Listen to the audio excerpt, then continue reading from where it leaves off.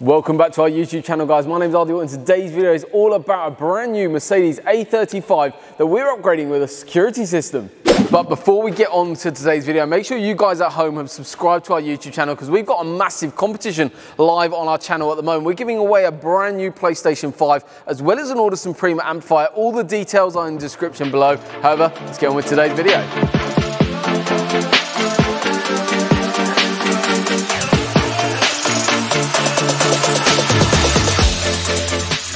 So the system that we're actually installing is something called an AutoWatch Ghost immobilizer, a CAN bus immobilizer, which we're going to be running through everything in today's video, exactly how the system works for you viewers at home. So let's jump in the car.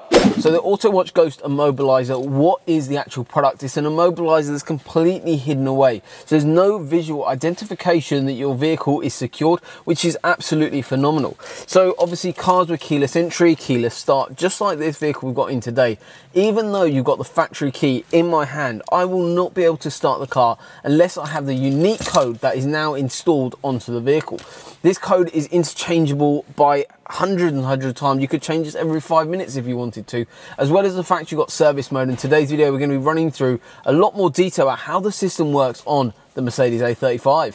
So how does the system actually work? So I've got the factory key in my hand. I'm going to show you exactly what happens when you actually try and start the vehicle. I'm putting my foot on the brake and press the start button like I normally would but no engine at all. No, it's not starting.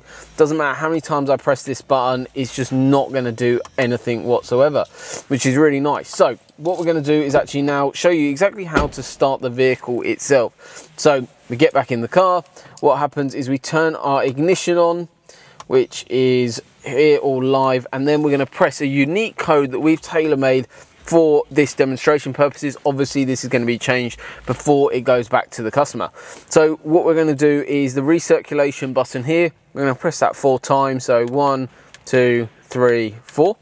And what happened is on my dashboard, I get two flashes of the high beam signal. And what actually happens means now I can put my foot on the brake, press the start button, and there we've got the lovely engine noise coming from the A35 and the vehicle I'm ready to drive. So it's literally as easy as that in terms of starting your vehicle. You basically turn your ignition on, enter your unique code, and this can be between 4 to 20 button presses. So you can customize this as many times as you want and change this as much as you want as well. You've actually got quite a few buttons on the A35. You've got everything from your driver window up all the way over to your sync button as well as the recirculation. There's a few other buttons which will run you through during the handover procedure once we actually go through and after your install done here in Cambridge. But now it's time to show you service mode. You might be wondering then what happens if I want to give my car in to Mercedes for a service or give it to a friend or family just to move the vehicle around or into valet.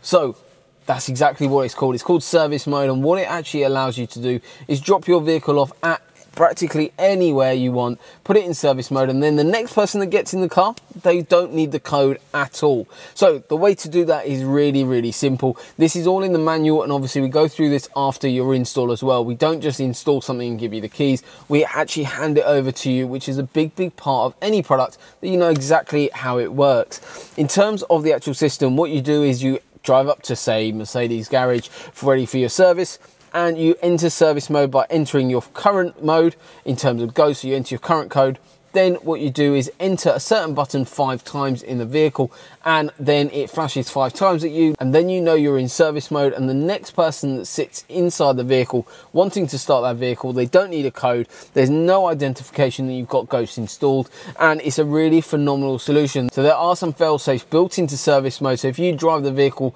over 30 miles an hour for 15 minutes or more, so basically going on a motorway, the actual next time you need to start the vehicle, the person would need to actually enter the code.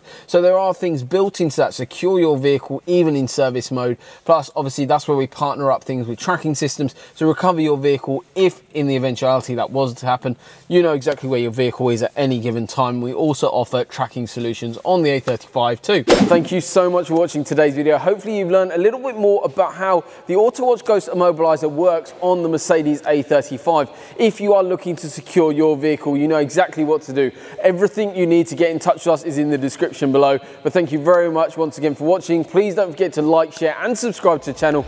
We'll see you all very soon.